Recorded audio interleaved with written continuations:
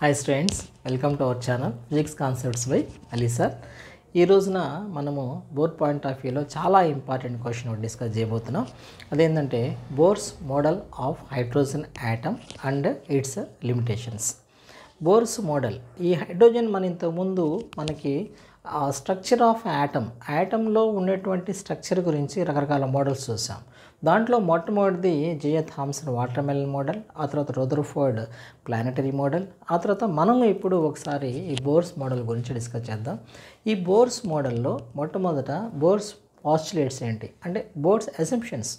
Atomic spectrum గురించి atomic structure గురించి ఈయన ఒపీనియన్స్ ఏంటి? ఆ తర్వాత ఎక్స్ప్లెయిన్స్ ఆ తర్వాత దెన్ ఇక్కడ ఉన్నటువంటి దీని ద్వారా ఈ ఈ మోడల్ ద్వారా ఆయన ఏమి ఎక్స్ప్లెయిన్ చేశారు? ఆ తర్వాత ఆయన డిఫిట్స్ ఏంటి? ఆయన లిమిటేషన్స్ ఏంటి? అంటే ఇంతవరకు ఏమి ఎక్స్ప్లెయిన్ చేయలేకపోయారు. అవన్నీ కూడా మనం ఇప్పుడు డిస్కస్ చేద్దాం. దాంట్లో మొట్టమొదటి ఏంటంటే బోర్డ్స్ మోడల్ చూద్దాం. బోర్డ్స్ ఏం చేశారంటే ద ఫస్ట్ పాయింట్ చాలా ఇంపార్టెంట్ ఇది. So the postulates what are the postulates of Bohr Bohr ప్రకారం ఎలక్ట్రాన్స్ అన్నీ కూడా ఒక ఫిక్స్డ్ పాత్లో తిరుగుతూ ఉంటాయి. ఓకేనా? Electrons the traveling in a fixed path వీటిని ఏమన్నారు ఆయన షెల్స్ అన్నారు. లేకపోతే కనుక energy levels energy levels or orbits electrons అన్నీ కూడా ఇట్లా ఒక ఫిక్స్డ్ పాత్రలు తిరుగుతూ ఉంటాయి. ఈ ఫిక్స్డ్ పాత్లో తిరుగుతూ ఉన్నంతసేపు కూడా వాటికి ఎనర్జీ లూజ్ అవటం కానీ గెయిన్ అవటం కానీ జరగదు. Okay so one the electrons are revolving in this fixed path there be no question of losing or gaining energy ఎందుకంటే అవి ఫిక్స్డ్ పాత్లో ట్రావెల్ చేస్తూ ఉన్నాయి కాబట్టి. అయితే ఇక్కడ ఒక చిన్న కాన్సెప్ట్ జరుగుతుంది. ఎప్పుడైనా సరే ఇక్కడ ఒక ఎలక్ట్రాన్ ఉంది న్యూక్లియస్ ఇక్కడ ఒక షెల్ ఉంది ఇట్లా ఒక షెల్ ఈ పేర్లు కూడా వచ్చేసారు ఆయనకి. దీనికి ఏంటంటే షెల్కి దగ్గరగా ఉన్న షెల్కి న్యూక్లియస్కి దగ్గరగా ఉన్న షెల్ ఏమో e ఈ వన్ అన్నారు. ఓకే ఈ న్యూక్లియస్కి నెక్స్ట్ ఉన్నదానేమో ఈ e టూ ఆ తర్వాత ఉన్నదానేమో ఈ e త్రీ ఇక్కడ e ఈ one అనేదేమో first energy level E one is a first energy level first energy level ఇది. ఓకే ఆ తర్వాత e ఈ టూ అనేదేమో సెకండ్ ఎనర్జీ లెవెల్ ఆ తర్వాత e ఈ త్రీ అనేదేమో థర్డ్ ఎనర్జీ లెవెల్ ఇక్కడ ఒక చిన్న ఇంపార్టెంట్ కాన్సెప్ట్ ఏంటంటే న్యూక్లియస్కి దగ్గరగా ఉండేదానికేమో చాలా తక్కువ ఎనర్జీ ఉంటుంది. అంటే ఈ వన్కి ఎలా ఎంత ఎనర్జీ ఉంటుంది? లోయెస్ట్ ఎనర్జీ లోయెస్ట్ ఎనర్జీ ఉంటుంది. మరి ఈ టూకి ఎంత ఎనర్జీ ఉంటుంది? దీంతో కంపేర్ చేసుకుంటే కొంచెం ఎక్కువ ఎనర్జీ ఉంటుంది. దీంతో కంపేర్ చేసుకుంటే తక్కువ ఎనర్జీ ఉంటుంది. సో మన కంపారిజన్ ఎలా రాయొచ్చు?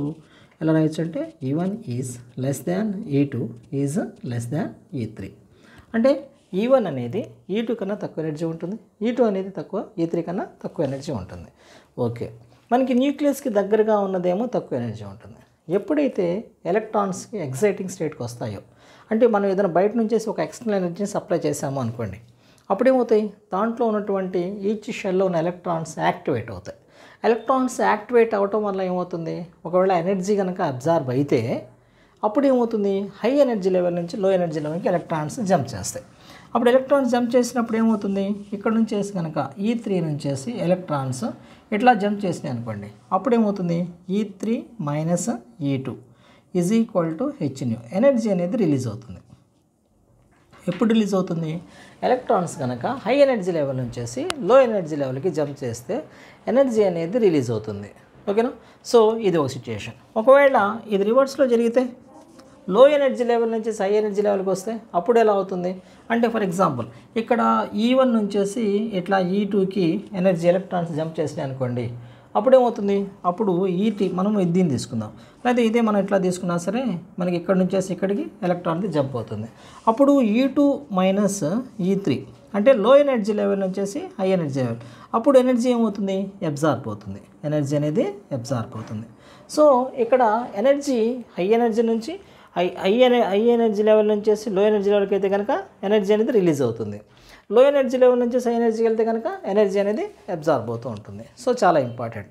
అంటే సో ఇక్కడ మనకి ఈ మెయిన్ పోస్టులేట్స్. అతను ఎంత ఎనర్జీ రిలీజ్ అవుతుంది? అంటే కనుక ఈ వాల్యూ అనేది ద చాలా ఇంపార్టెంట్ పాయింట్ ఇది.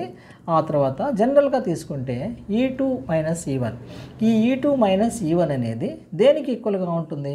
ఒకసారేమో హెచ్ న్యూ ఉంటుంది ఇంకోసారేమో టూ హెచ్ న్యూ ఉంటుంది ఇంకోసారేమో త్రీ హెచ్ న్యూ ఉంటుంది. ఇక్కడ నెంబర్స్ తీసుకుంటే వన్ టూ త్రీ అల్టిమేట్గా మనం ఏం తీసుకోవచ్చు? ఎన్హెచ్ న్యూ చిన్నదేమో నెంబర్ అనమాట న్యాచురల్ నెంబర్ కింద వస్తుంది. అల్టిమేట్గా మనం ఈ ఫార్ములాని ఎలా తీసుకోవచ్చు? ఈ ఎనర్జీ అనేది E two minus E one is equal to N H nu అని చెప్పేసి ఇది చాలా పాపులర్ అనమాట ఇది పాస్టులేట్స్. ఓకేనా? పాస్టులేట్స్. దీన్నే ఎనర్జీ క్వాంటైజ్డ్ అని చెప్పేసి అంటారు. ఏమంటారు దీన్ని? Energy quantised.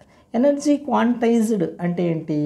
ఎనర్జీ క్వాంటైజ్డ్ అంటే ఏదైనా సరే ఎనర్జీ కనుక ఒకే రకమైనటువంటి మల్టిపుల్స్తో అది రిపీట్ అవుతూ ఉంటే అంటే ఇక్కడ one two three four five ఇట్లా మల్టిపుల్స్తో అది రిపీట్ అవుతూ ఉంటే అప్పుడు ఆ ఎనర్జీని క్వాంటైజ్ అయింది అని చెప్పేసి అంటారు.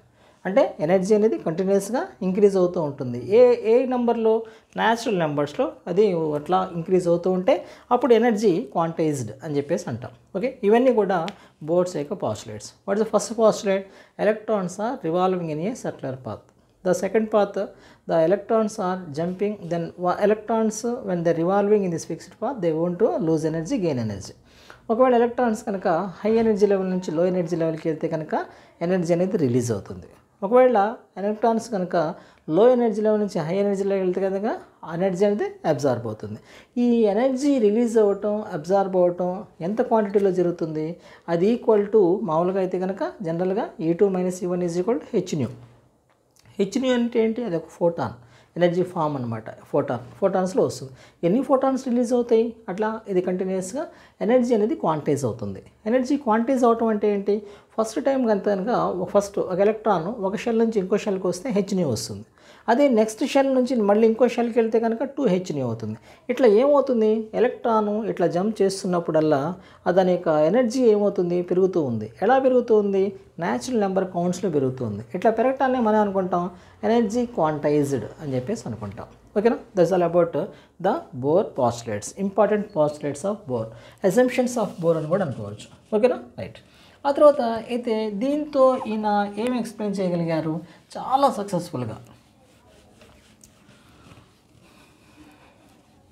so what is the merit of the Bohr's model Bohr's Bohr's model యొక్క మెరిట్ ఏంటంటే ఈయన చాలా చక్కగా బోర్స్ మోడల్ ఈ what is the merit merit of Bohr what is that merit of Bohr he explained more successfully hydrogen spectrum hydrogen spectrum తీసుకున్నారు. Hydrogen spectrum ఈ hydrogen spectrum అనేది ఎలా ఏర్పడుతుంది? ఇట్లా మనం తీసుకుందాం. హైడ్రోజన్ స్పెక్ట్రమ్ దీంట్లో హైడ్రోజన్ స్పెక్ట్రమ్లో ఏముంటుంది? ఇట్లా డిస్క్రిట్ లైన్స్ ఉంటాయి. Discrete lines. ఇట్లా బ్లాక్ బ్యాక్గ్రౌండ్ మీద బ్యాక్గ్రౌండ్ ఏంటి? Black background. ఇదొక ఎమిషన్ స్పెక్ట్రమ్ బ్లాక్ బ్యాక్గ్రౌండ్ మీద ఎలక్ట్రాన్స్ ఇట్లా లైన్స్ అనేవి కలర్డ్ లైన్స్ ఉంటాయి. దీన్ని మనం అనుకుంటామంటే హైడ్రోజన్ స్పెక్ట్రమ్ అని చెప్పేసి అనుకుంటాం. ఈ హైడ్రోజన్ స్పెక్ట్రాన్ని చాలా క్లియర్గా ఈ లైన్స్ ఎలా ఏర్పడుతున్నాయి ఇవన్నీ కూడా చాలా సక్సెస్ఫుల్గా ఎక్స్ప్లెయిన్ చేశారు. ఓకేనా? సో ఆ తర్వాత ఇక్కడ మరి ఇంతవరకు ఓకే. ఇది డి అది ఈయన మెరిట్. మరి డిమెరిట్స్ ఏంటి? మరి ఈ మోడల్ తర్వాత ఇంకా సక్సెస్ కాలేదు. ఎందుకని? What is the first demerit is? ఇక్కడ ఏం చేశారంటే డిమెరిట్. So first demerit. దాన్ని మనం ఫెయిల్యూర్స్ అని చెప్పేసి కూడా అనుకుంటాం. దాంట్లో మొట్టమొదటిది ఈయన ఒక కేవలము ఒక ఎలక్ట్రాన్ ఉన్నటువంటి యాటమ్స్కి మాత్రమే లిమిట్ అయ్యారు. ఒకవేళ ఏదైనా ఒక ఎలిమెంట్లో యాటంలో రెండు ఎలక్ట్రాన్స్ వచ్చినాయి అనుకోండి అప్పుడు వాటికి ఏంటంటే అతను ఎక్స్ప్లెయిన్ చేయలేకపోయారు. So is described he limited for only mono atomic orbits mono atomic mono atomics so poly atomics spectrums he could not explain mono యాటమ్స్తో ఏర్పడే స్పెక్ట్రమ్స్ని లైక్ హైడ్రోజన్ ఇతను చాలా సక్సెస్ఫుల్గా ఎక్స్ప్లెయిన్ చేయగలిగారు. ఆ తర్వాత మళ్ళీ ఒకవేళ అంతకన్నా పెరిగినాయి అనుకోండి అప్పుడు దీంతో పాటు ఏమేమి ఎక్స్ప్లెయిన్ చేశారు? హైడ్రోజన్ స్పెక్ట్రమ్ ఎక్స్ప్లెయిన్ చేశారు. ఆ తర్వాత హీలియం ప్లస్. ఇక్కడ ఎన్ని ఎలక్ట్రాన్స్ ఉంటే ఒకటే ఎలక్ట్రాన్ ఉంటుంది రెండు ఎలక్ట్రాన్స్లో ఒక ఎలక్ట్రాన్ వెళ్ళిపోయింది కాబట్టి ప్లస్ వచ్చింది. సో హీలియం ప్లస్ ఆ తర్వాత లిథియం ప్లస్ ప్లస్. ఈ ఎలక్ట్రాన్స్ని చాలా క్లియర్గా ఎక్స్ప్లెయిన్ చేయగలిగారు that is merit and merit అది. మరి దీంట్లో ఏం చేశారు? ఇక్కడ డిమెరిట్స్ వచ్చినప్పటికల్లా ఇక్కడ ఏం చేశారంటే he could not account for poly atomic spectrums poly atomic spectrum. ఇది ఫస్ట్ డిమెరిట్. పాలీ అటామిక్ స్పెక్ట్రమ్ని ఆయన ఎక్స్ప్లెయిన్ చేయలేకపోయారు. Okay? And what is mean by poly atomic spectrum? Helium. Lithium. హీలియంలో రెండు ఎలక్ట్రాన్స్ ఉంటాయి. లిథియంలో మూడు ఎలక్ట్రాన్స్ ఉంటాయి. అటువంటి వాటికి ఏంటంటే ఆయన ఎక్స్ప్లెయిన్ చేయలేకపోయారు. ఇంకొక చాలా ఇంపార్టెంట్ ఏంటంటే ఇప్పుడు ఈ హైడ్రోజన్ స్పెక్ట్రంలో ఫైన్ లైన్స్ ఉన్నాయి. రైట్? Fine lines. ఈ హై రిజల్యూషన్ స్పెక్ట్రోస్కోప్ ద్వారా చూసినప్పుడు ఇక్కడ ఉన్నటువంటి లైన్స్లో మళ్ళీ ఇంకా fine lines కనిపించినాయి. So lines fine lines observed fine lines in lines. In lines of hydrogen spectrum hydrogen spectrum అది ఆయన అట్లా ఎందుకు ఆ ఫైన్ లైన్స్ ఏర్పడినాయి అన్నదాన్ని ఎక్స్ప్లెయిన్ చేయలేకపోయారు. So that is the first demerit అనమాట ఈ రెండు డిమెరిట్స్ ఈ రెండింటిని మనం డిమెరిట్స్ కింద తీసుకోవాలి. What's first డీమే first demerit? He just ఆయన కేవలం మోనో అటామిక్ స్పెక్ట్రమ్స్ మాత్రమే ఆయన ఎక్స్ప్లెయిన్ చేయగలిగారు. పాలీ అటామిక్ స్పెక్ట్రమ్ని ఎక్స్ప్లెయిన్ చేయలేకపోయారు అదొక డిమెరిట్. ఇంకోటి ఏంటంటే ఇక్కడ ఆ బోర్ ప్రకారము ఈ హైడ్రోజన్ స్పెక్ట్రంలో ఏర్పడేటువంటి ఫైన్ లైన్స్ ఉన్నాయి కదా ఈ ఫైన్ లైన్స్ని హై రిజల్యూషన్ స్పెక్ట్రోస్కోప్తో చూసినప్పుడు లైన్స్ ఏర్పడినాయి. దాంట్లో లైన్లోనే ఇంకా మళ్ళీ లైన్స్ ఉన్నాయి ఫైన్ లైన్స్. అంటే ఇది ఎలా కనిపిస్తుంది? ఇది ఇట్లా కనిపిస్తుంది. ఈ ఒక లైను ఇట్లా కనిపిస్తుంది అనమాట హై రిజల్యూషన్ స్పెక్ట్రోస్కోప్ చూసినప్పుడు. ఇట్లా ఎందుకు ఏర్పడుతున్నాయి అన్నది ఆయన ఎక్స్ప్లెయిన్ చేయలేకపోయారు. So that is is a demerit మరి ఇట్లా ఏదైనా సరే ఒక ఫెయిల్యూర్ ఉన్నప్పుడు ఇంకో సైంటిస్ట్ వస్తారు. ఇంకో సైంటిస్ట్ వచ్చి ఆ మోడల్ని కరెక్ట్ చేస్తారు. ఆ సైంటిస్ట్ ఎవరు? ఈయన ఈ హైడ్రోజన్ స్పెక్ట్రమ్ని కరెక్ట్ చేసినటువంటి నెక్స్ట్ సైంటిస్ట్ ఏంటంటే ఆయన పేరు సోమర్ఫీల్డ్. సోమర్ఫీల్డ్ ఒక చిన్న సొల్యూషన్ చెప్పారు దీనికి. ఓకే? మనం ఇప్పుడు సోమర్ఫీల్డ్ మోడల్ చూద్దాం. So who corrected Bohr's hydrogen spec Bohr's model అంటే కనుక సోమర్ఫీల్డ్ సోమర్ఫీల్డ్ కరెక్టెడ్ చాలా ఇంపార్టెంట్ ఇది టూ మార్క్స్ వస్తూ ఉంటుంది. ఓకేనా? సోమర్ఫీల్డ్ సోమర్ఫీల్డ్ ఏం చేశారంటే ఈయన కరెక్ట్ చేశారు. బోర్ మోడల్ని ఎలా కరెక్ట్ చేశారో చూడండి. మొట్టమొదట ఇప్పుడు బోర్స్ మోడల్ తీసుకుందాం. బోర్స్ మోడల్ ఏంటి ఏం చెప్తుంది? అంటే కనుక న్యూక్లియస్ ఉంటుంది దాని చుట్టూ కూడా ఎలక్ట్రాన్స్ ఇట్లా సర్క్యులర్ పాత్లో తిరుగుతూ ఉంటాయని చెప్పేసి చెప్పారనమాట ఆయన సో ఇట్లా మొట్టమొదటి మనం ఏం చేద్దాం? దీనేమో ఫస్ట్ షెల్ అనుకుందాం. ఇదేమో సెకండ్ షెల్. ఇదేమో థర్డ్ షెల్. ఇదేమో ఫోర్త్ షెల్. ఈ సోమర్ ఫీల్డ్ మోడల్ చూద్దాం. ఇక్కడ సోమర్ ఫీల్డ్ మోడల్ ఎలా వస్తుందంటే ఈయన ఏం చేశారంటే nucleus to first energy level యాజిటీస్గా తీసుకున్నారు. As Bohr is correct he is first shell is settled path only electrons ఈ పాత్స్లో ఎలక్ట్రాన్స్ తిరుగుతూ ఉంటాయి. ఓకేనా ఇక్కడ ఎలక్ట్రాన్స్ ఉన్నాయి ఈ ఎలక్ట్రాన్స్ ఇట్లా తిరుగుతూ ఉంటాయి అన్ని చోట్ల. సో బోర్ ప్రకారం ఎలక్ట్రాన్స్ ఎలా తిరుగుతున్నాయి? అన్ని షెల్స్లో కూడా సర్క్యులర్ పాత్రలు తిరుగుతూ ఉన్నాయి. కానీ సోమర్ ఫీల్డ్ ఏం చేశారంటే correct n is equal to one first షెల్లో electrons circular పాత్రలో తిరుగుతున్నాయి అన్నారు. కానీ సెకండ్ షెల్ నుంచి ఆయన ఏం చెప్పారంటే అవి ఎలిప్టికల్ పాత్రలు తిరుగుతుందని చెప్పి చెప్పారు. చాలా ఇంపార్టెంట్ అది so n is equal to two elliptical path అక్కడ నుంచి ఎలిప్టికల్ పాత్ అన్నీ ఎలిప్టికల్ పాతే బోర్ ప్రకారం అయితే కనుక అన్ని సెటిలర్ పాతే సోమర్ ఫీల్డ్ ప్రకారం ఓన్లీ ఫస్ట్ షెల్ మాత్రమే సర్క్యులర్ పాత్రలో ఉంటుంది. మిగిలిన అన్ని షెల్స్ కూడా ఎలా తిరుగుతుంటాయి? అవి ఎలిప్టికల్ పాత్లో ఇట్లా తిరుగుతూ ఉంటాయి అన్నమాట. ఓకే సో ఇట్లా తిరుగుతూ ఉంటాయి ఎలిప్టికల్ పాత్లో మనకి ఇట్లా తిరుగుతూ ఉంటాయి సో ఎలిప్ట్ ఎలిప్స్ రంగాలు మనకి ఏముంటుంది ఒక ఎలిప్స్ అనేటప్పటికల్లా మనకి రెండు సెంటర్స్ ఉంటాయి. వాటిని ఫోసి అంటాం. ఈ న్యూక్లియస్ అనేది ఎక్కడో ఒక చోట ఉంటుందని చెప్పారు ఆయన. సో టూ సెంటర్స్ ఉంటాయి. వాటిని మన ఫోసి అని చెప్పేసి అంటాం. ఈ ellipse is having two centres. Okay? వాటిని మన ఫోసి అంటాం. సో ఇక్కడ న్యూక్లియస్ అనేది ఇక్కడ ఉండొచ్చు లేకపోతే ఇక్కడ ఉండొచ్చు అని చెప్పి చెప్పారు. సో ఇప్పుడు క్వశ్చన్ ఏ విధంగా వస్తుందంటే new just Sommerfeld corrected Bohr's ఊచి orbit second orbit. అంతేనా? సో బాగా ఇంపార్టెంట్. ఇక్కడ చూడండి ఫస్ట్ ఆర్బిట్ తీసుకున్నారు ఆయన ఫస్ట్ ఆర్బిట్. సెకండ్ ఆర్బిట్ దగ్గర నుంచేసి మార్చారు ఆయన అవునా? So Bohr's second orbit is equal to Sommerfeld's first orbit. Sommerfeld first orbit ఇక్కడ నుంచి కదా మారింది. మనం ఇట్లా అనుకుందాం మామూలుగా. So n is equal to three n is equal to four అనుకుంటే ఇప్పుడు ఇక్కడ చూడండి ఈ orbit Bohr's Sommerfeld second orbit equal to the then Bohr's Bohr's first orbit sir Bohr's no Sommerfeld's first orbit Sommerfeld first orbit ఎక్కడ start అయింది? Second orbit నుంచి start అయింది. అది దేనికి? సోమర్ ఫీల్డ్ సెకండ్ ఆర్బిట్కి సో ఇక్కడ మనకి ఏముంటుంది? బోర్ని మనం ఇట్లా తీసుకుందాం. బోరు సోమర్ ఫీల్డ్ మనం కనుక కంపారిజన్ చేసుకుంటే మనకి ఇక్కడ Sommerfeld so first orbit అనేది ఇందులో ఈక్వల్గా తీసుకున్నారు. ఇక్కడ బోర్ సెకండ్ ఆర్బిట్ అనేది సోమర్ ఫీల్డ్ ఫస్ట్ ఆర్బిట్ కింద తీసుకుంటాం. ఓకే ఆ తర్వాత బోర్కి మూడో ఆర్బిట్ ఉందనుకోండి. అప్పుడు సోమర్ ఫీల్డ్కి ఎన్ని ఆర్బిట్స్ ఉంటాయి? రెండే ఉంటాయి.